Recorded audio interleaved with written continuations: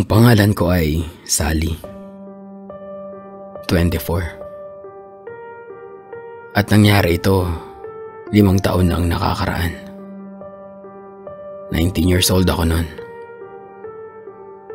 Naghahanap ako ng pwede kong mabiling gamit sa website na Oaks. Dating sulit.com.ph. Ito ay isang online app na kakikitaan mo ng iba't ibang mga bagay na pwede mong mabili na ibinibenta ng kung sino-sinong tao lang din.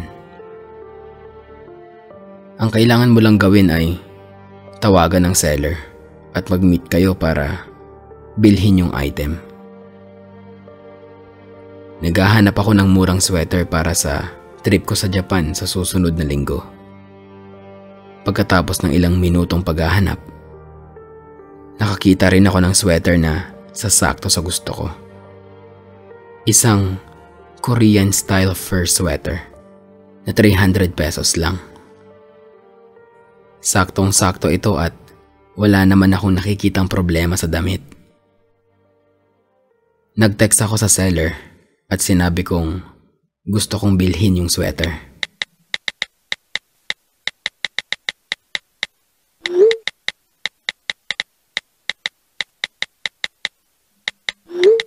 Magkita na lang daw kami sa LRT. Mga alas 8 ng gabi kasi busy pa raw ang seller sa trabaho niya. Naisip ko medyo gabi na yun pero nagdesisyon akong pumunta na lang. Total, public place naman yon so hindi naman siguro delikado. Tinawagan ko yung may-ari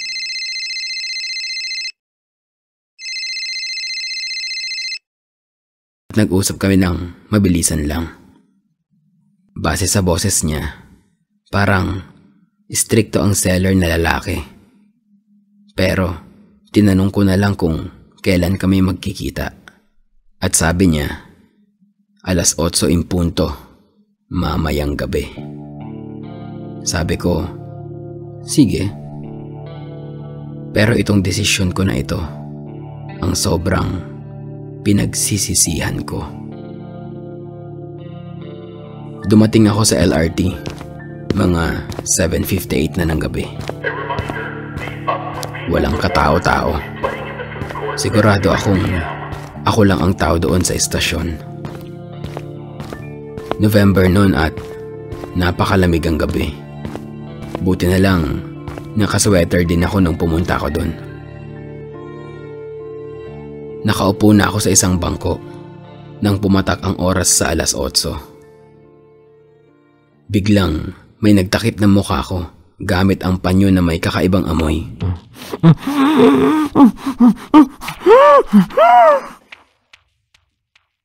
Nahimatay ako.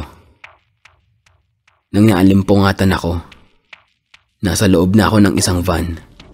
Karga ang apat na kalalakihan.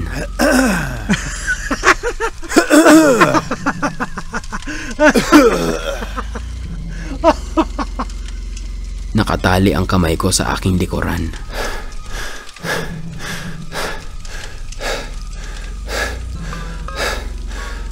Tinanong ko ang mga lalaki kung anong kailangan nila at nagmakaawa akong pakawalan na nila ako.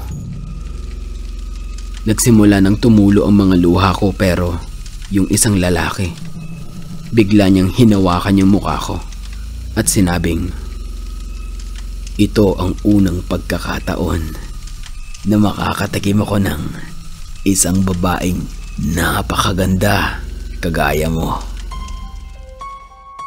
Umiyak ako ng umiyak at sinabi kong, Parang awa niyo na po.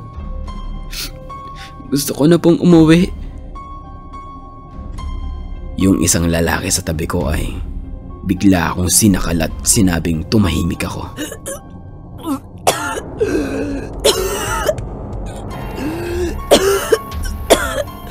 Sinubukan kong magpumiglas pero hindi na ako makahinga. Binitawan din ako pero matagal bago ko nakuha ulit ang paghinga ko. Lumingon ako sa labas at nakita kong may checkpoint. Sa buong buhay ko ay Ito ang unang pagkakataon na natuwa ako na may mga pulis para i-check ang van. Pero yung lalaking nasa tabi ko ay humugot ng napakalaking baril. Alam kong ito lang ang pagkakataon ko para makahingi ng tulong kaya sumigaw ako. Sir, tulungan niyo po ako. May mga baril po sila. Biglang hinugot ng dalawang pulis ang mga baril nila. Yung isa ay binaril ang gulong. Yung isa naman ay binaril ang lalaki na nasa tabi ko. Binaril niya ito sa ulo. Hindi ko lubos maisip na makakaranas ako ng ganun sa buong buhay ko. Ang isa sa mga pulis ay binuhat ako palabas ng van at nahimatay ako pagkatapos. Nagising ako at nasa hospital na ako. Andun na din ang mga magulang ko. Umiiyak. Sinabi ko ang totoo na bumibili ako ng sweater online. Pero bigla ko na lang nasabi na Tulungan niyo ako. Parang awa niyo na. Tulungan niyo ako. mula noon. Nag-umpisa na akong magpatingin sa psychiatrist dahil hindi na maayos ang pag-iisip ko. Lagi na rin akong balisa at hindi na ulit ako bumili ng gamit ko sa internet.